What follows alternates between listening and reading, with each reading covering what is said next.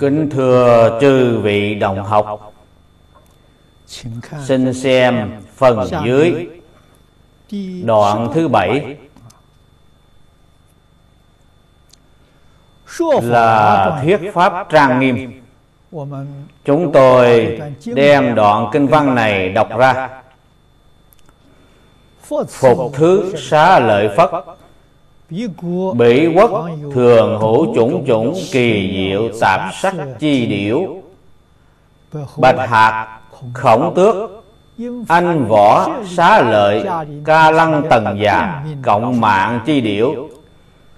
Thị trừ chúng điểu Chú dạ lục thời Xúc hòa nhã âm Kỳ âm diễn sướng ngũ căn ngũ lực thất bồ đề phần bát thánh đạo phần như thị đẳng pháp.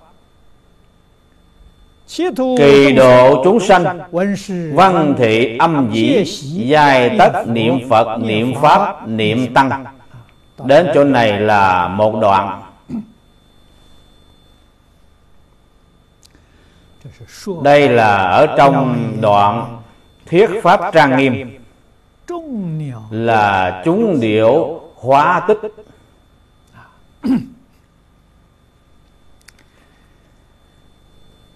ở tại chỗ này chúng ta nhất định phải hiểu được. ở phần sau đức thế tôn sẽ nói rõ cho chúng ta biết chúng điểu là những giống chim ở cõi này đều là do a di đà phật biến hóa làm ra tuyệt đối không phải là xuất sanh đạo. Vì sao đức phật không hiện thân phật để thuyết pháp mà phải biến hiện những giống chim này để thuyết pháp?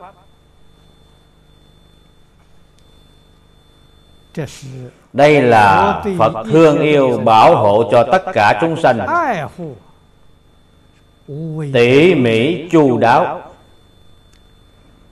Nếu như phật hiện thân ở nơi đó thuyết pháp học trò nghe kinh nhất định là phải rất cung kính rất có quy củ. ngồi ở nơi đó không thể không có hoài nghi. Nay thì chim ở nơi đó thuyết pháp Họ rất thông thả. Chẳng có bó buộc Có thể tự nhiên một tí. Ngồi nghe cũng được Đứng nghe cũng được Đi nghe cũng được Nằm ở đó nghe cũng được. Đây là A-di-đà Phật thương yêu bảo hộ cho chúng sanh chúng ta từ chỗ này có thể thể hội được.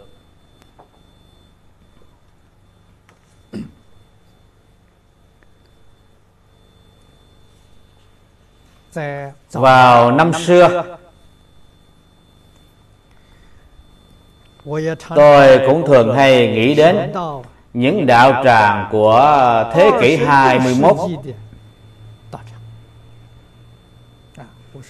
Tôi nói những đạo tràng của thế kỷ 21 không còn giống như là tự viện am đường không phải là hình thức đó đạo tràng của mọi người tu hành nên giống như thôn hồi hưu của úc châu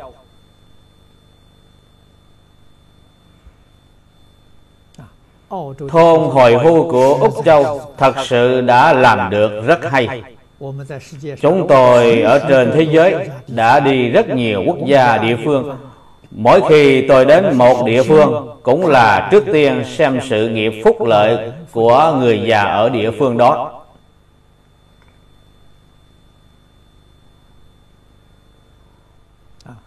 Tại nước Mỹ và Canada Tôi thường hay đi tham quan chung cư của người già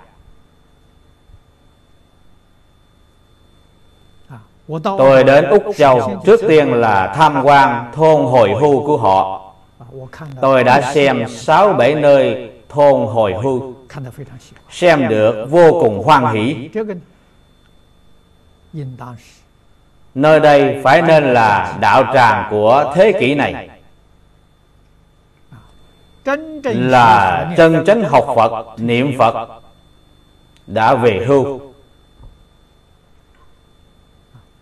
ở trong thôn hồi hưu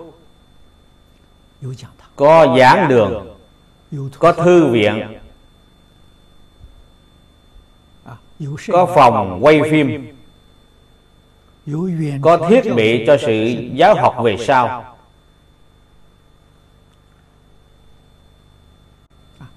âm thanh niệm phật cũng giống như cõi tây phương của a di đà phật học theo ngài biến hóa ra những giống chim thiết pháp. Chúng ta hiện nay tự mình chẳng có cách nào biến hóa ra. Chúng ta có thể gắn máy phát âm loại nhỏ để trên cây. Âm thanh của tiếng thuyết pháp từ trên cây phát ra.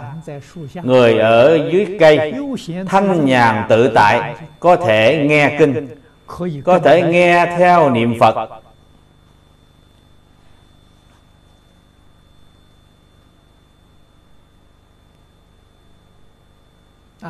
Nếu như có lầu gác hoặc cái chòi bên trong cái chòi nhỏ có thể đặt một máy truyền hình không lộ ra.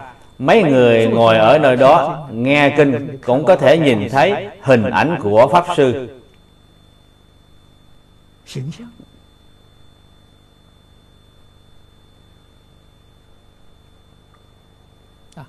đây là khoa học kỹ thuật hiện đại có thể làm được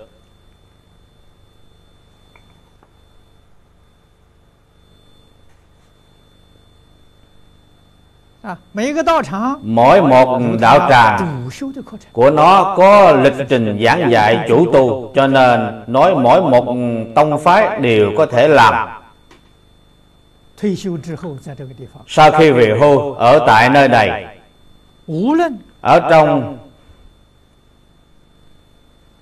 thôn hồi hưu này bất luận là ở góc nào đều là đạo tràng.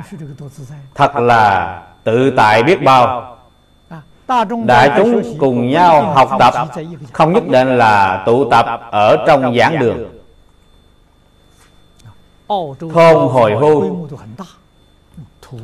Úc Châu quy mô cũng rất lớn Bởi vì đất đai quá rộng lớn Cho nên một thôn hồi hưu cũng giống như một công viên vậy Diện tích đất đai rộng lớn. Ở trong này cây cối hoa cỏ Cầu nhỏ nước chảy. Sau khi anh đi vào Trong đích thật là rất đáng được cho anh lưu luyến.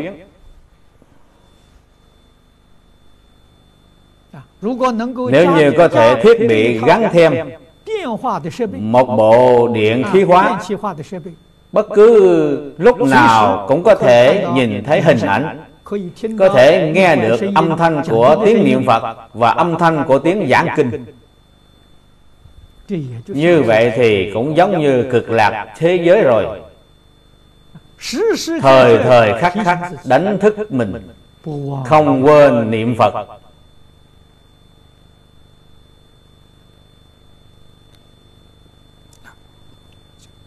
Lục thời diễn pháp là ngày đêm nghe kinh nghe pháp không gián đoạn. hai chữ lục thời tức là hiện nay chúng ta nói 24 tiếng. ở đây nói lục thời là nói thời xưa của Ấn Độ. Cổ Ấn Độ đem mỗi ngày chia làm sáu thời ban ngày ba thời ban đêm ba thời. là chúng ta ở trong kinh. thường thường nhìn thấy ban ngày họ gọi là sơ nhật phần trung nhật phần hậu nhật phần. đây là ban ngày 12 tiếng. ban đêm gọi là sơ dạ phần trung dạ phần hậu dạ phần.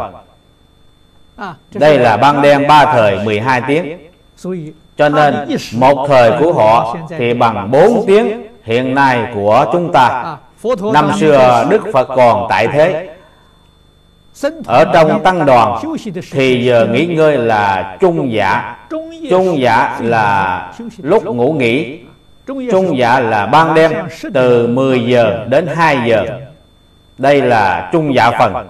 cho nên từ 10 giờ ngủ nghỉ đến 2 giờ thì đã thức dậy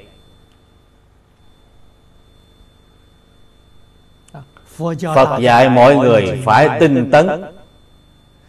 Không được giải đãi Không được tham ngủ.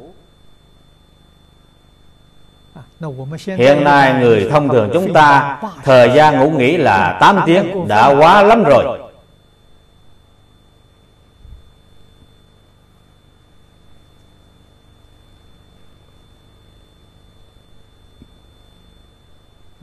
Đây là nhà Phật. Cho nên Phải tinh tấn Phải dũng mãnh tinh tấn. thì giờ là quý báu hơn hết. Không lãng phí thì giờ. Thế nhưng nghiệp chướng của người hiện nay So với thời xưa nặng hơn. Vọng niệm nhiều. Không nghỉ ngơi. Thì thể lực không được khôi phục Cho nên cách dạy bảo của Lão Hòa Thượng Đế Nhà Thì chúng tôi vô cùng tán thán. là không phân biệt ngày đêm. mệt rồi thì đi nghỉ ngơi cho khỏe. tất cả đều buông xuống. đi nghỉ ngơi cho khỏe. nghỉ ngơi khỏe rồi thì lập tức tiếp tục niệm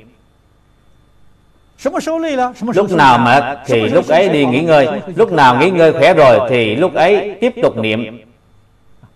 cái phương pháp này đối với chúng ta mà nói chẳng có sức ép. Đích thật là một phương pháp rất hay. Nếu như công phu đã đắc lực Thì sự ngủ nghỉ của anh càng lúc càng ít Tinh thần của anh càng lúc càng sung mãn. Sáu thời diễn thuyết Phật Pháp Ngày đêm không gián đoạn. Điều này hiện nay chúng ta có thể làm được. Chúng ta có thể dùng video giảng kinh niệm Phật, Giảng kinh. Một ngày 24 tiếng, không gián đoạn. Mở chiếu. Video. Niệm Phật cũng là 24 tiếng, không trung đoạn.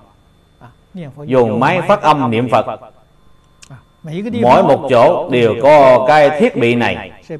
Bên cạnh thiết bị cũng có cái nút mở tắt. Anh muốn nghe niệm Phật Nhấn một cái thì tiếng niệm Phật Hiệu phát ra. anh muốn nghe kinh. à, lại nhận một cái thì hình ảnh hiện ra. à, nếu ta không muốn xem cũng không muốn nghe cả thể anh có thể tắt đi. thật là rất tự tại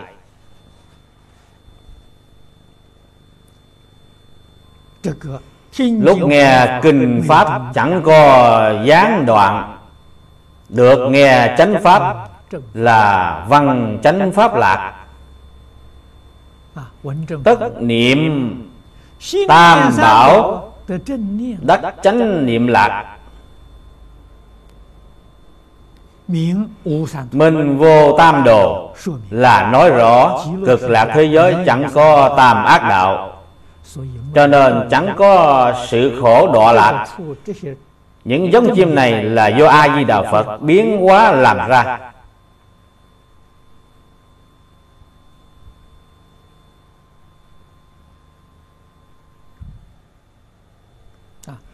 Tất niệm tam bảo.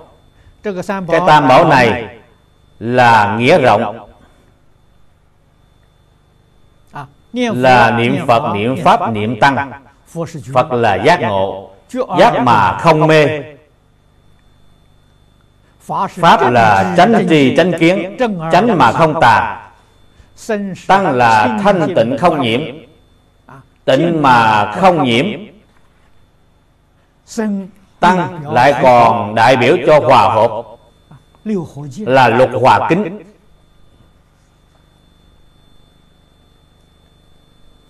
mười phương ba đời tất cả chư phật đã giảng vô lượng vô biên các pháp. cũng không thể vượt qua ba đại loại này là giác chánh tịnh ba đại loại này.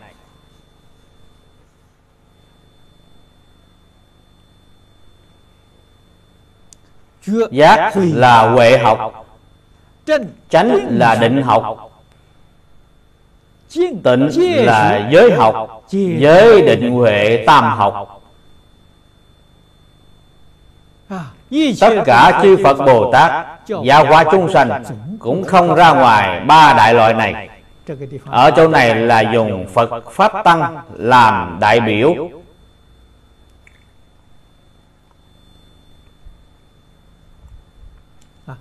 cho nên anh phải hiểu được phật nếu là dùng tam tạng để giảng để giảng là luận tạng. đại biểu cho luận tạng pháp là đại biểu cho kinh tạng tăng là đại biểu cho lục tạng. Kinh lục luận tam tạng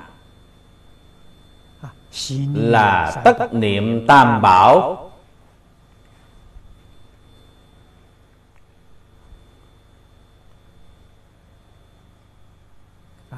Tây phương cực lạc thế giới tuyệt đối chẳng có tam ác đạo Chẳng có tam ác đạo là hiển thị cực lạc thế giới có nhân thiên đạo.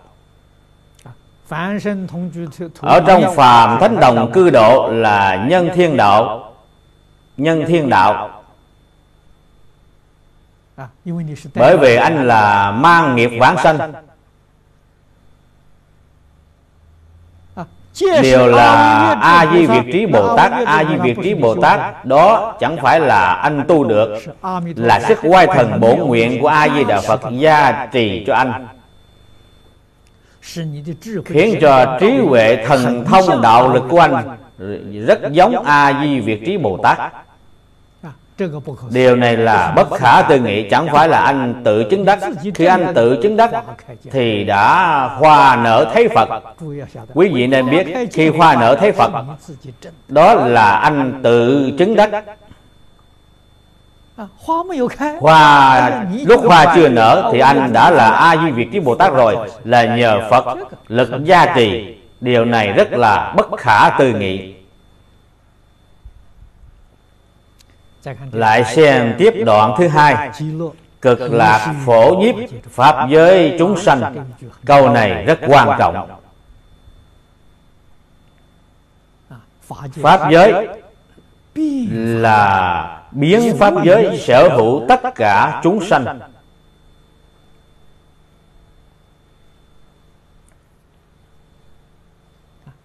Vậy thì anh thử nghĩ xem Phạm vi giáo hóa chúng sanh của cực lạc thế giới có bao lớn?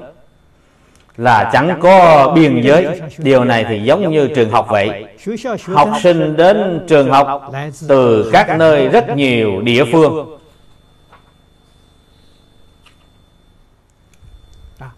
Nhưng ngôi đạo tràng này ở Tây Phương cực lạc thế giới Thì có một tí giống như sự giáo học về sau của hiện nay chúng ta nói là rất xa xôi, cũng có thể đạt đến. Mười phương vô lượng vô biên thế giới đều là khu vực giáo hóa của ngài. Cực lạc thế giới không phải là một cõi tam thiên đại thiên thế giới. Không giống như chư Phật sát độ. Chư Phật sát độ nó đích thật là một ngôi trường học. Nó có khu vực trường học của nó Có phạm vi của nó Duy chỉ có Tây Phương cực lạc thế giới chẳng có phạm vi. Có tất cả trường học đều là phạm vi của nó. Tức là nói có tất cả chư Phật sát độ đều là phạm vi giáo hóa của a di đà phật. anh nói cái phạm vi của ngài bao lớn? căn trần nhất nhất viên diệu.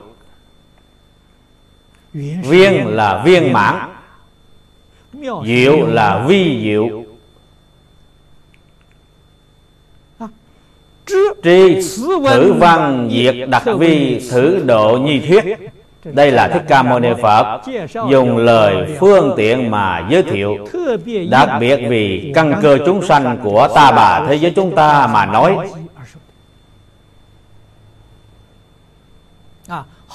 Giống như là Ngài đặc biệt đối với chúng ta. Đây là lời phương tiện của Đức Thế Tôn giới thiệu bên trong. Trên thực tế, phạm vi khu vực giáo hóa của Ngài là vô hạn rộng lớn. Do đó, đệ tử của Di Đà bất luận đi đến một cõi Phật nào cũng đặc biệt được khoan nghênh. Cũng được xem anh như là khách quý mà đối đãi nhờ sự thôn lây của a di đà phật người ta vừa nhìn thấy là đệ tử của di đà cùng với đệ tử của chư phật khác thì đối đãi khác nhau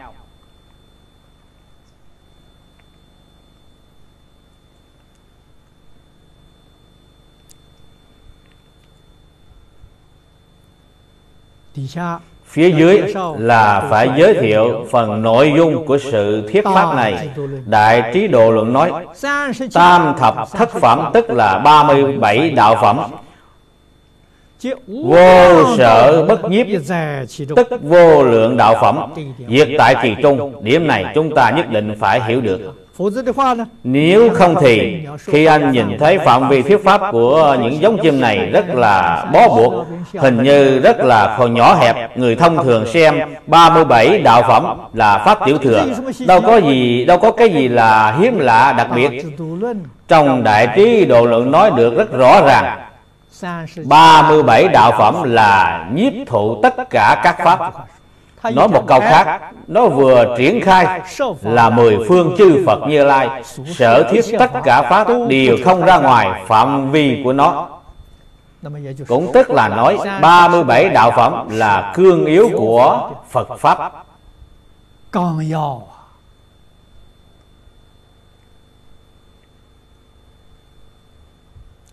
Là pháp môn tổng trì của Phật Pháp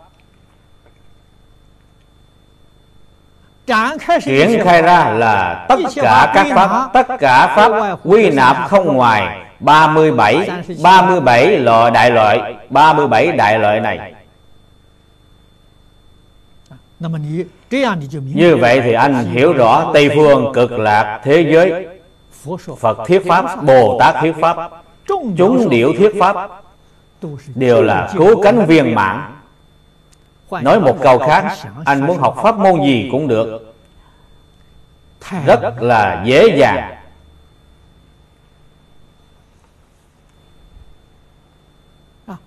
Bất luận muốn học pháp môn nào Đều có thể thành tựu. Bởi vì anh ở trong nhị lục thời không gián đoạn Sau khi đi đến cực lạc thế giới Chúng ta muốn hỏi Ở trong phàm thánh đồng cư độ Có cần ăn uống hay không? Có cần ngủ hay không? Không cần nữa.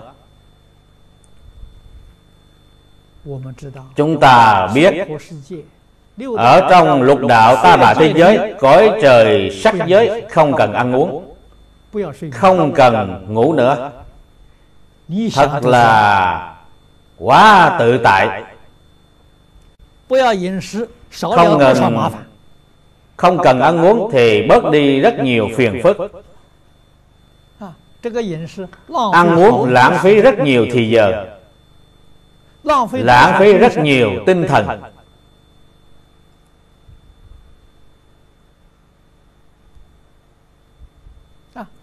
ăn uống ở trong pháp thế gian mà nói là ngũ dục. Tài sức sắc danh thực thùy là ngũ dục vọng là ngũ dục. Ở trong Phật pháp nói là ngũ cái. Cái là tỷ dụ. Đem tánh đức của anh đã che đậy. cái là chướng ngại. Tài sắc danh thực thùy là chướng ngại Chướng ngài tự tánh vốn có đầy đủ trí huệ bát nhã. Chướng ngài đức năng vô lượng của tự tánh. Chướng ngài tướng hảo quang minh của tự tánh. Là năm thứ chướng ngại này. Cho nên đến cõi trời sắc giới sơ thiền trở lên Thì sự ăn uống không cần nữa. Phần bồi dưỡng của cái thân thể này Từ nơi nào mà đến? Từ nơi thiền diệt vi thực Thiền diệt đã thay thế. Người thế gian chúng ta cũng có cách nói này. Nói người khi gặp chuyện vui Thì tinh thần sảng khoái. Người của cõi trời sắc giới Thiền định khoái lạc. Đó là sự bồi bổ tốt nhất người của cõi trời dục giới vẫn chưa được vẫn còn phải ăn uống. Đến cõi trời sắc giới thì không cần nữa Đi đến Tây Phương cực lạc thế giới. Chẳng lẽ vẫn còn phải ăn uống hay sao? Không cần nữa Không cần. Vì sao lại có những hiện tượng này? Đó là do phiền não tạp khí. Đi đến cực lạc thế giới lâu rồi Chẳng có ăn cơm. Sao lại chẳng có ăn cơm? Trong tâm vừa nghĩ đến ăn cơm Thì cơm hiện đến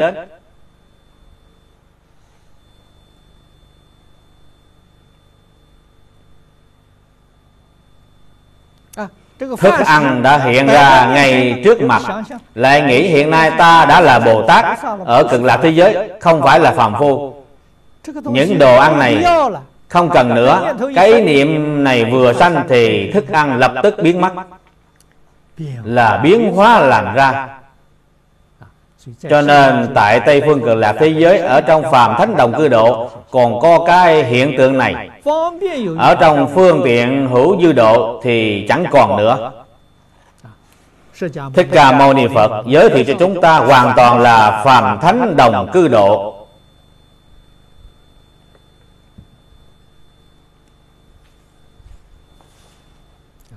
Cho nên điều này phải hiểu.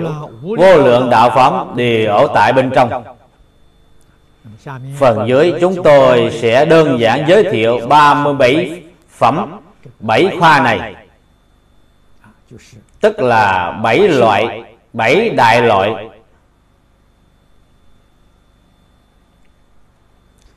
Đoạn thứ nhất là nói tứ niệm xứ. Dĩ trí quán cảnh. Tức là nhìn được thấu cho nên tứ niệm xứ là trí huệ.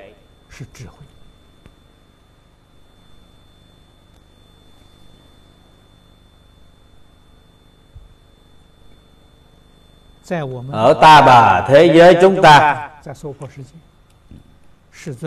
Đức thế tôn ở trong kinh điển thường thường dạy. Bốn thứ quán đây là chân tránh trí huệ. Cái thứ nhất là quán thân bất tịnh. Cái thứ hai là quán thọ thị khổ. Cái thứ ba là quán tâm vô thường. Cái thứ tư là quán pháp vô ngã. Anh phải thường thường quán như vậy, thì trí huệ của anh sẽ khai mở. Thân rất dơ bẩn không sạch sẽ.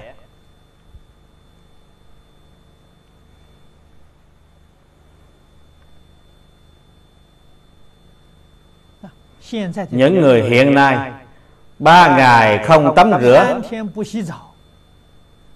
thì trên thân có mùi vị rất khó ngửi. mùi vị trên thân từ nơi nào đến là từ trong thân của anh phát ra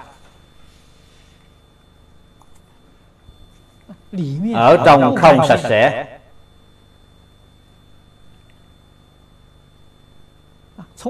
xưa kia như chư chư đại đức của thiền tông thường thường ví dụ thân thể của con người là cái gì gọi là cái túi đựng đồ dơ cái túi này ở trong cái túi này đựng đồ gì là đựng cứt đái phân là máu mũ Chẳng có một thứ nào là sạch sẽ. 36 thứ đều là đồ bất tịnh. Ở trong cái túi này là đựng những thứ đồ này. Anh phải giác ngộ. Anh thật sự liễu giải Thấy được rõ ràng Thấy được minh bạch rồi. Cái thân thể này không đáng được lưu liếng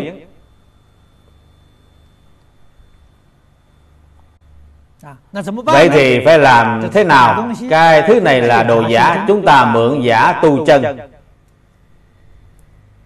Minh tâm kiến tánh là chân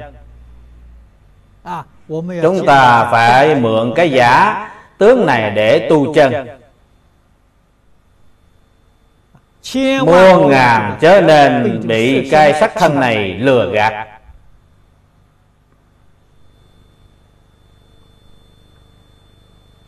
thường mến cái sắc thân này tham luyến cái sắc thân này. nếu lấy đủ thứ để bồi bổ bảo vệ cái sắc thân này thì sai rồi.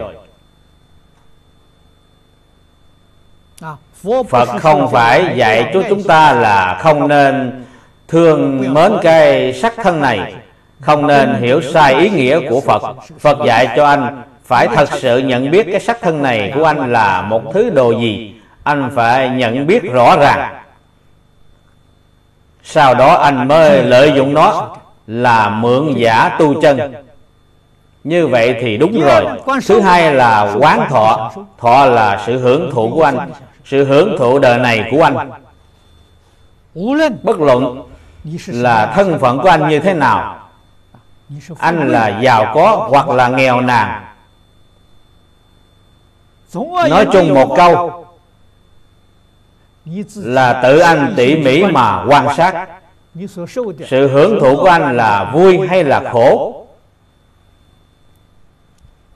Phía trước đã nói với quý vị Sanh lão bệnh tử Cầu bất đắc ái biệt ly Quán tăng hội ngũ âm xí thạnh. Quán thọ là khổ. Anh nói bây giờ vẫn còn vui Rất khoái lạc Lạc là hoại khổ.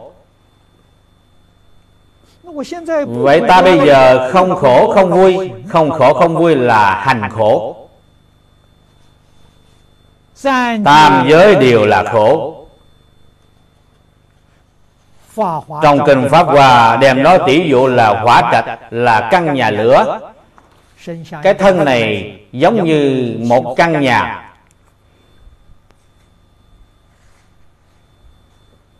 Ở bên trong đã có lửa cháy. Đây là sự giác ngộ. Không giác ngộ thì không biết. Quán thọ là khổ.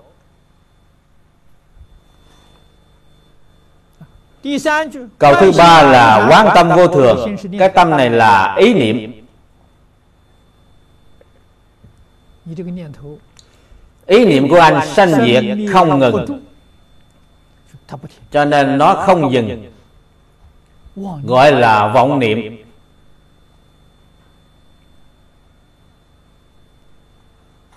vô thường.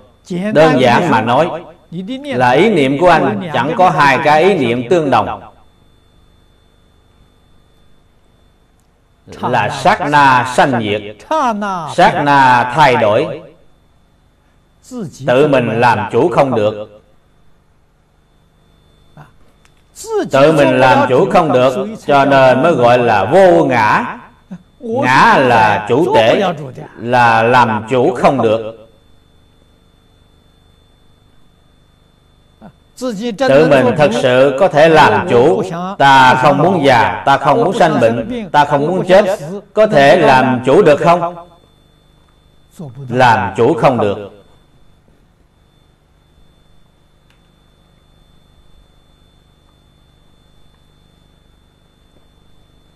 cái tâm này không phải là chân tâm. ở trong kinh điển nói cái tâm này là vọng tâm. vọng tâm là cái gì? trong kinh hoa nghiêm nói là vọng tưởng phân biệt chấp trước. là tâm vọng tưởng tâm phân biệt tâm chấp trước là vô thường thiền biến vạn hóa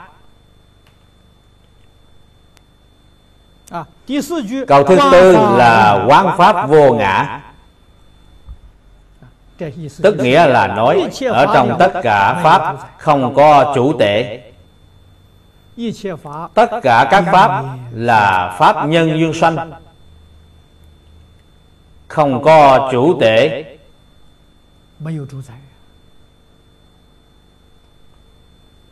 Không có tự tại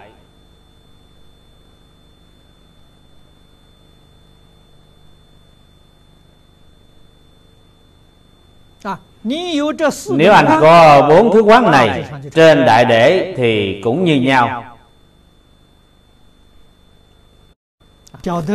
Đã hiểu thân bất tịnh thọ là khổ tâm vô thường, pháp vô ngã. Thì anh mới có thể nhìn thấu. Sau khi nhìn thấu thì anh mới có thể buông xuống buông xuống cái gì? Là buông xuống tự tư tự lợi, buông xuống danh văn lợi dưỡng, buông xuống ngũ dục lục trần.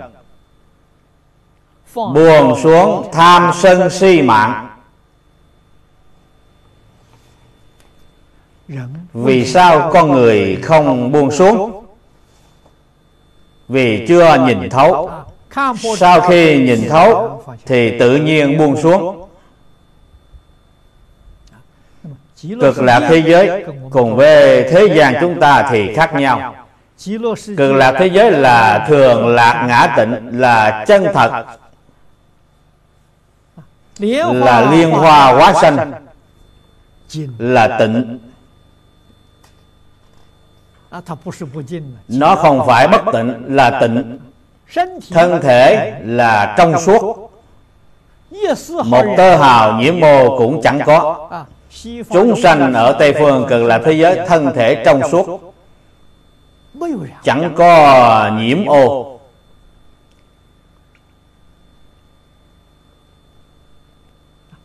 Khi nào chúng ta có thể đem vọng tưởng phân biệt chấp trước, tức là phiền não, tạp khí, cả thể đều đã đoạn hết, thì cái thân thể này của chúng ta là trong suốt.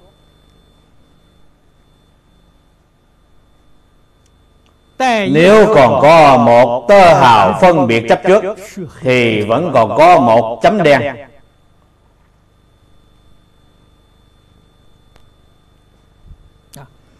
Tây phương thế giới không có những sự khổ Chỉ hưởng những điều vui.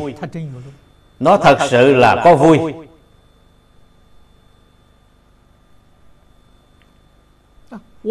Chúng ta ở cõi này quán tâm vô thường Người ta ở cõi kia nhất tâm bất loạn.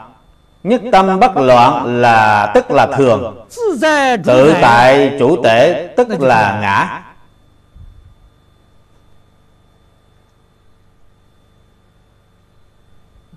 Do đây có thể biết Chúng ta ở cõi này phải tu tứ niệm xứ. đến tây phương cực lạc thế giới thì kết quả của tứ niệm xứ đã hiển hiện ra đã thành tựu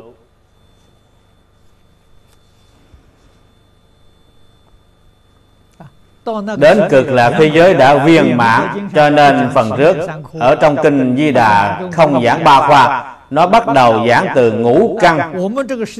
ngũ lực chúng ta ở cõi này phải tu phải tu tứ niệm xứ quán. Tây phương cực lạc thế giới không có nó không cần. Ở cõi đó nó chẳng có cái vấn đề này lại xem tiếp. tứ chánh cần chúng ta cũng phải tu tứ chánh cần. cực lạc thế giới không có. tứ chánh cần là đoạn ác sanh thiện. cần là siêng năng. chánh là chính xác. là chánh đáng. là chánh đáng. chúng ta phải nên ở trong cuộc sống hàng ngày tất cả thời gian tất cả nơi chỗ cũng không thể quên. anh phải thật sự tu hành. đoạn ác có hai câu. dĩ sanh ác định đoạn. là đã khởi sanh cái ác niệm. cái tiêu chuẩn của thiện ác này. Phật dạy cho người sơ học là dùng thập thiện nghiệp đạo là thập thiện nghiệp. Phản diện của thập thiện nghiệp là thập ác. Ta đã khởi sanh cái ác niệm. thì ác nghiệp đã tạo rồi. anh phải giác ngộ gấp rút đoạn trừ.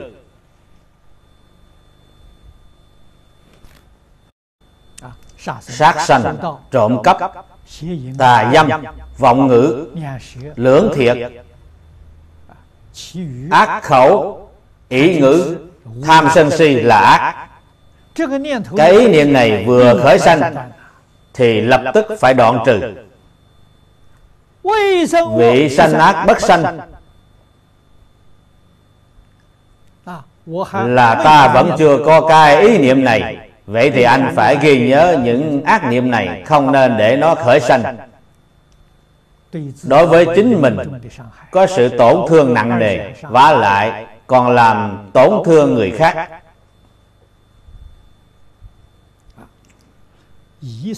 dĩ sanh ác lịnh đoạn. vị sanh ác bất sanh.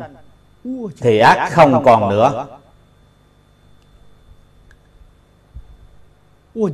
cái ác niệm không có. thì hành vi ác cũng chẳng có đoạn ác thì phải sanh thiện. dĩ sanh thiện tăng trưởng. vị sanh thiện lĩnh sanh. chỉ có thiện. không có ác. chỉ có thiện.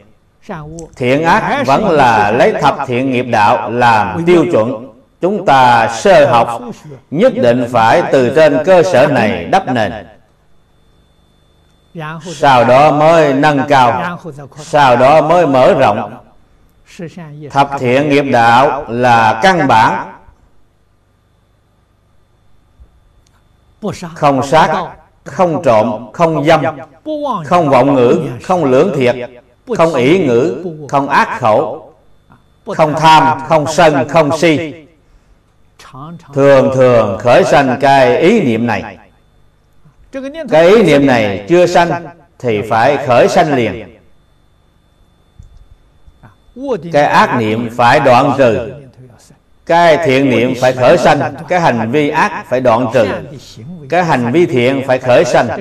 Có như vậy thì tâm hành của anh không có ác chỉ có thiện tịnh niệm tương kế vô thượng bồ đề. Vô thượng bồ đề là từ chỗ này mà xây dựng lên.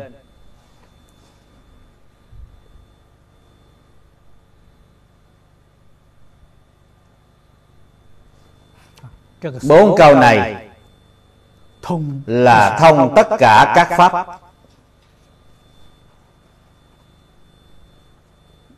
ở trong pháp đại thừa thí dụ như lục độ. Tham lam là ác.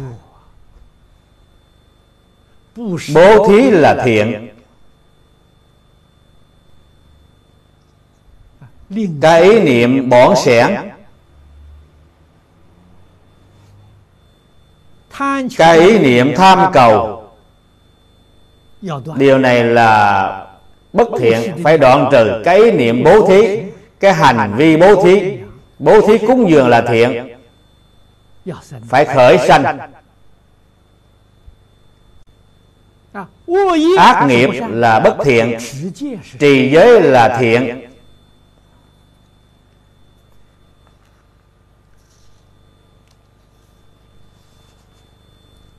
sân hận là bất thiện nhẫn nhục là thiện.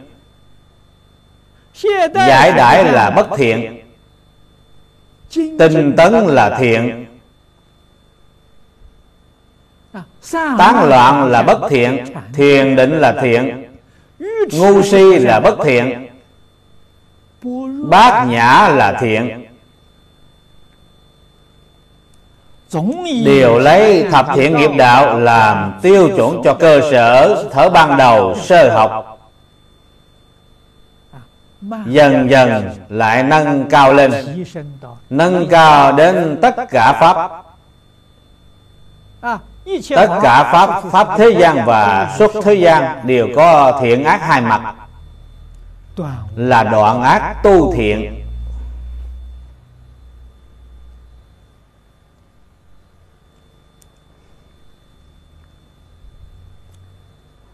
đoạn thứ ba là tứ như ý túc.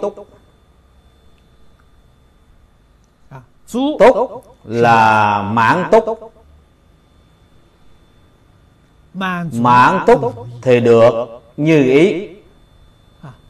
Cho nên bốn thứ này là phật dạy cho chúng ta. anh mãn túc thì được như ý. Buông được xuống hồi thủ như ý. Hồi đầu thị ngạn. Cho nên bốn điều này là định là phước. Bốn thứ định bốn thứ phước. Người trung quốc chúng ta thường hay nói hồi thủ như ý. Anh xem ngày xưa những người giàu có trên tay thường hay cầm một cái như ý. Cầm cái như ý này là ý nghĩa gì cái như ý là quay đầu trở lại. Tức là thời thời khắc khắc đánh thức chính mình. bất luận làm việc gì không nên quá đáng. phải biết hồi đầu. không biết hồi đầu thì phiền phức sẽ đến sẽ xảy ra hư hại người hiện nay nói tiết chế phải hiểu được tiết chế. Bất luận làm việc gì, đều có chừng mực nhất định của nó. Đến lúc ấy, phải biết tiết chế. Cổ nhân tại trung quốc nói phải nên hồi đầu.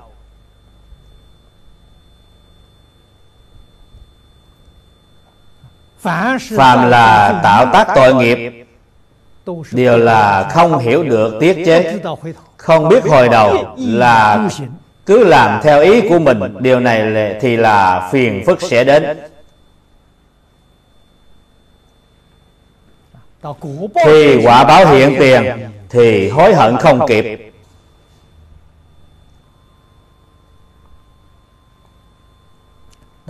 phật. Dạy cho chúng ta bốn việc này. cái thứ nhất là dục. dục. Như ý túc. Dục là dục vọng. nhất định phải trì túc.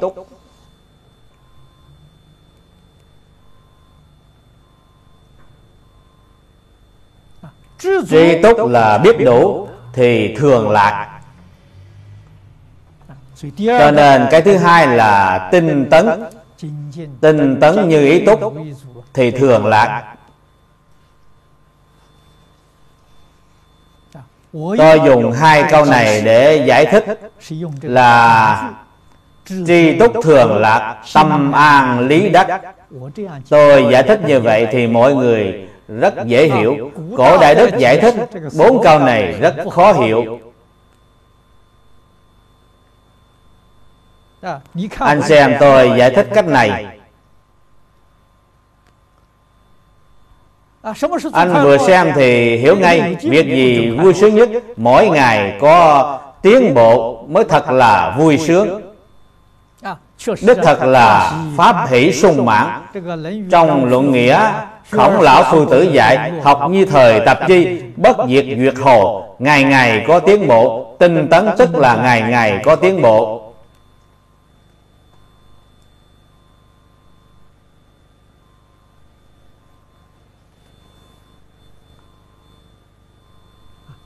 khổ là cái gì? Là chẳng có tiến bộ mới là khổ.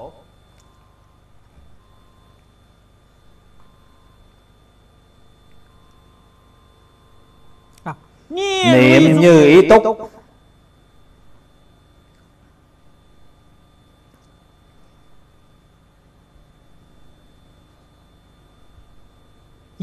cũng gọi là tâm như ý túc tương lai quý vị khi thấy trong phật pháp tứ như ý túc này có khi dùng niệm có khi dùng huệ nhưng có những chỗ họ dùng tâm như ý túc tư duy như ý túc. Dùng niệm và dùng tâm. chúng ta cả thể đều nhìn thấy. trong kinh điển cũng có cách nói này. đều là như nhau. niệm như ý túc. là tâm an tâm an là tâm anh phải biết đủ. thì tâm anh đã an. tình tấn như ý túc. Hôm nay tinh tấn. Hôm nay bài học của tôi Đều đã làm viên mãn rồi. Đều đã có tiến bộ Vậy thì được rồi. thì anh thường lạc tinh tấn không thể không biết đủ. Nếu không biết đủ, tinh tấn đã quá mức, đã vượt quá mức, thì thân thể của anh bị tổn thương. Bài học của một ngày thì làm xong một ngày, không thể một ngày làm hết bài học 10 ngày, đó thì là mất mạng.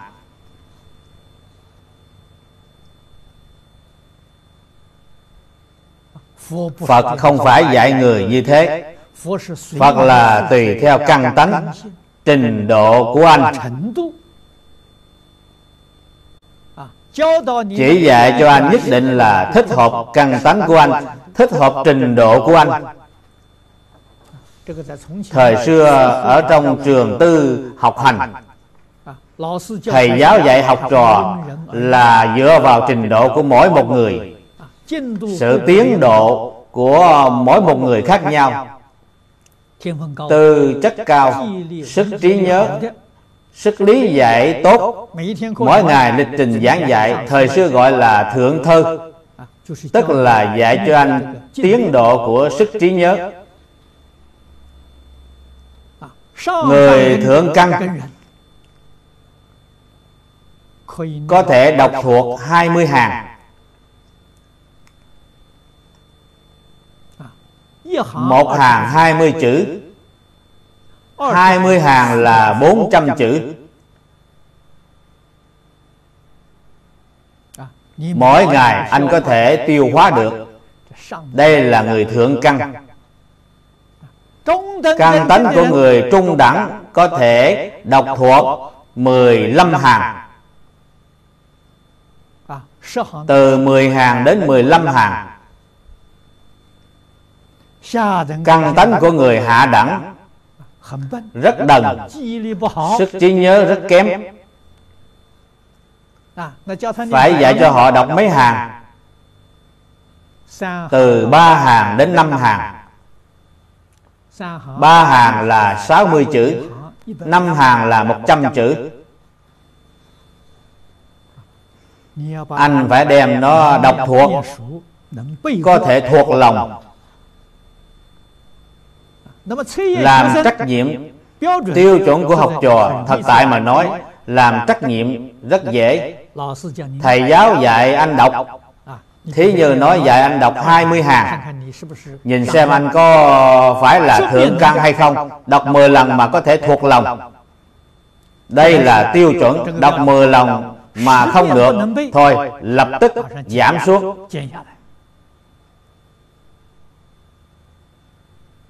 Nhất định là đọc 10 lần sẽ thuộc lòng Là thích hợp trình độ của anh.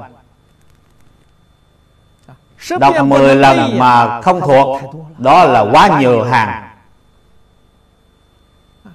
Cho nên người hạ căn Dạy cho họ ba hàng 60 chữ Đọc 10 lần có thể thuộc lòng Thì được. Nếu có vị đồng học nào mà đọc 100 chữ Đọc 10 lần có thể thuộc lòng Thì tư chất của họ so với vị này thì cao hơn một tí. cho nên lịch trình giảng giảng dạy đồng thời như nhau. Sự tiến bộ của mỗi một người không tương đồng. Đọc 10 lần có thể thuộc lòng. Thầy giáo lại thúc giục anh. Cất cao tiếng đọc Đọc 100 lần Nhìn vào quyển sách Cất cao tiếng đọc Đọc 100 lần. Sau khi đọc xong 100 lần Gấp uh, quyển sách lại Đọc thuộc lòng Đọc thuộc lòng 100 lần. như vậy có tiến bộ. đây là bài học của ngày hôm nay. Ngày mai thì có bài học ngày mai đây là tinh tấn như ý túc. tôi cử ra cái thí dụ này thì mọi người dễ hiểu. mỗi ngày phải có tiến bộ tiến bộ là có. thước tất. thích hợp với trình độ của mình. Thích hợp với căn tánh của mình. một tí cũng không khó khăn. từng ngày có tiến bộ từng tháng có tiến bộ từng năm có tiến bộ. Thì họ làm sao mà không vui sướng chứ? Niệm như ý túc là tâm như ý túc là tâm an huệ như ý túc là tư duy như ý túc là cái lý đã minh bạch rồi cái lý đã minh bạch thì tâm an tâm an hiểu lý thì đã minh bạch. thành tựu nhất tâm bất thối bồ đề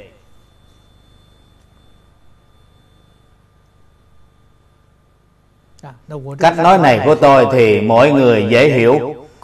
Có thể cả thể đều thực hiện trong cuộc sống hàng ngày. Thực hiện tại nơi học giáo, thực hiện tại nơi niệm phật, thực hiện tại nơi tu hành. Nó là cương lĩnh, là nguyên tắc. Bây giờ thời gian đã đến. Hôm nay chúng tôi xin giảng đến nơi đây.